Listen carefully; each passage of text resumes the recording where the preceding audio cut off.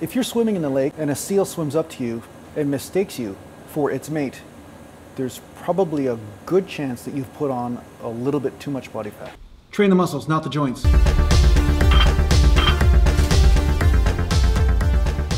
So welcome back to Natural Gallant Bodybuilding and today I'm going to talk to you a little bit about how to measure your progress. So this question is from Carl, one of my Patreon supporters um, on Patreon. He made a request and asked me about how to measure his progress when he's weight training. So um, there's a lot of things you can do, but uh, first of all, let's go inside the coffee shop here and I'll get a seat and then we'll, uh, we'll talk.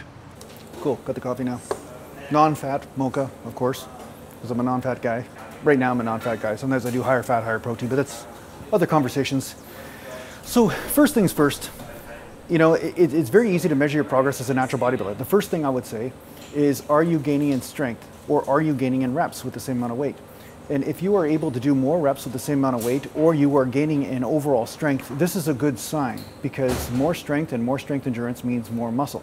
So this is the first way that you measure your gains. Basically, you measure it through your performance. Are you able to do more with the same weight or to do more weight? or even be able to do more volume with the same weight. Say you can do 10 sets before rather than five sets. Now, obviously you can only go so high in the volume, especially when you're taking the sets to failure, which is why that's not necessarily the main focus of your results. That's really obviously the reason why I'm not asking you to focus mostly on how much volume can you do because there's a point of diminishing return on that because again, you're not an endurance athlete, you're a bodybuilder. You're more of a strength athlete and strength endurance.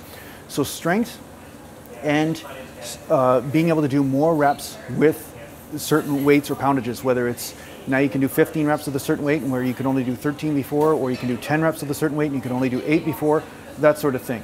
This is a surefire way to measure your progress, and as long as you are climbing up in your performance, there's a good chance you're putting on muscle. There's a good chance that if you were being used as a flotation device by Sea Life or uh, children at the pool, that you have probably put on a reasonable amount of body fat. When you go furniture shopping and somebody accidentally mistakes you for a beanbag chair, there's a good chance that you put on too much body fat. Now, that said, yes, if you're fatter, you can lift a little bit more, but again, there's gonna be a point of diminishing return on that. So do concentrate on your performance. And of course, I'm also talking about consistent form. So obviously if you're doing a super slow rep, you're going to get less reps in a set than if you're doing reps at a faster clip, right?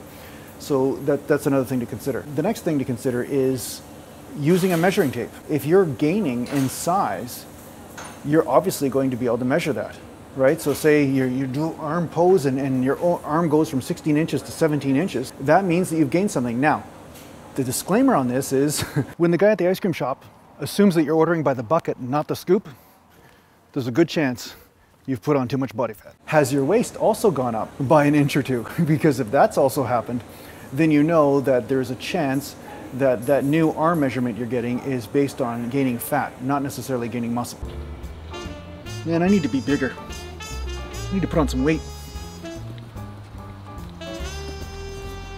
Wow, I'm freaking huge. The goal is to keep your waist pretty much at the same size and bring up the size on all the other areas, like such as your limbs, such as your chest and back size, such as your uh, your legs, right? Your, your circumference around your legs. So take measurements, and as you go along your journey and you measure, you're going to notice that there's going to be some increases in size in those areas. And as long as your waist is not growing at the same clip, you're doing pretty good. Should I use that cup again, or save the yeah. whales? Yeah, sure. Why not? Did she just call me a whale? So there's your answer. If people at the coffee shop are making a lot of whale comments, you know that you're probably eating too much. Now, a third way to measure, but this is a way to measure how lean you are. And uh, sometimes muscle mass also plays a role because if you're at a higher body fat percentage but you have more muscle, uh, you are going to have a tendency to have more lines and more of a sculpturesque physique. So photographs of yourself or video of yourself or even looking in the mirror is going to be able to tell you over time whether you are increasing in gains or not, based on are you looking more sculpturesque? Are you looking more like there's more lines in the delts, there's more lines in the chest, there's more def definition between one muscle group and another? As far as like you can clearly tell where the pecs are, instead of like the sumo approach where the pecs just melt into the back and into the rib cage and you really can't tell. It's is there is there definitions between the different muscle groups, such as the shoulders, right? So when your shoulders are developed, you know, like there's going to be like the line here, like there's going to be this curve inwards and then outwards again. There's going to be this definitive line between where one muscle group ends and another one begins. This is something that you can measure as well.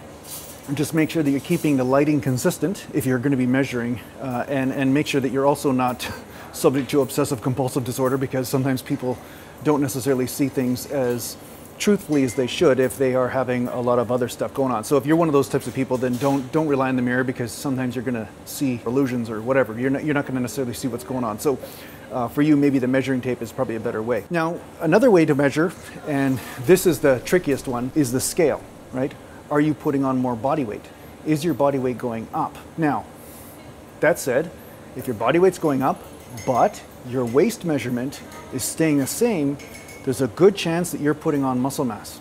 So this is another way to measure, right? Now, if your waist is just going up like crazy, then yeah, I mean, there's a, there's a possibility that you're just putting on body fat. If your waist is consistent, and then you're putting on, you know, maybe a pound or two pounds or three pounds, there's a good chance that you're putting on really good quality muscle at that point. So yeah, I hope this helps you understand a few ways of how to measure your gains and how to measure your progress as a natural bodybuilder.